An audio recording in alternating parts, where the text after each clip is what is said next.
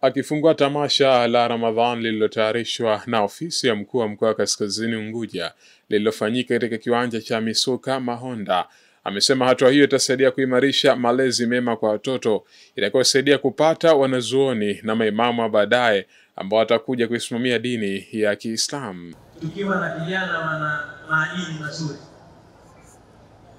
kwa kweli tutapata viongozi na tutapata nchi ambayo itakuwa na vijana wema na wananchi wema sana. Ni waombe sana watukufu Waislamu, tukieni pahala tuseme inatosha. Hawa vijana ambao tunawategemea kesho yake wawe viongozi, wanahitaji kuwa na akhlaki nzuri, malezi mazuri, wanahitaji kukua katika makuzi mazuri, na makuzi mazuri ni kukua katika miongozo ya dini yetu ya Kiislamu. Aidha, amewahimiza wazazi na walezi kwa wakati umefika kurudi katika malezi ya asili ambayo yataweza kuisaidia serikali katika kukabiliana na matendo maovu. Usafi, malezi bora kwa maendeleo ya uchumi wetu yatatusaidia sana kunyanyua fikra, lakini kunyanyua uchumi wetu na kuwawezesha vijana wetu kuweza kuingia katika maeneo salama kama ambavyo tamasha hili limeelekeza mambo ya msingi ambayo watayafanya yakiwemo mashindano ya Qur'an, kongamano la wazi, utoaji wa sadaka na kufurahisha wananchi.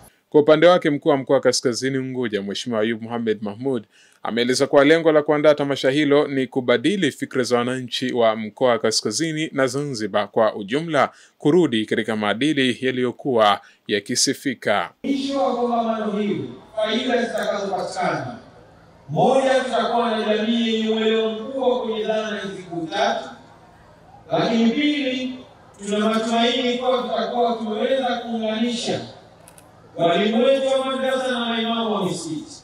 Vilevile tamasha hili litatusaidia kukutanisha watu elfu moja mia tano walioalikwa kwa ajili ya iftari, na kama ilivyoelezwa itawahusisha sio tu walimu wa madrasa pamoja na maimamu wa misikiti, lakini vilevile watendaji wa serikali, viongozi wa vyama vya siasa, wananchi wa kawaida, makundi mbalimbali ya kijamii, wakiwemo watu wenye ulemavu, mayatima, wajane, wazee na kadhalika.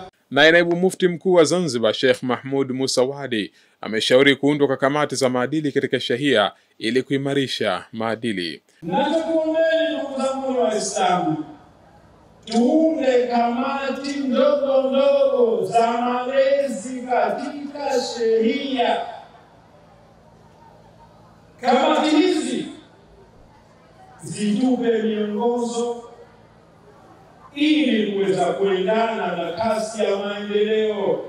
Bila ya hivyo, tutakuja kuchukua hii sehemu ya pili ambayo haitokuwa na heri kwetu hapa duniani na kesho akhera.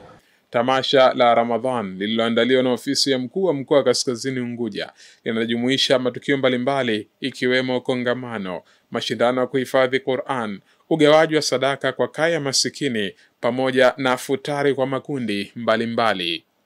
Nikiripoti mimi ni Masudi Juma wa ZBC.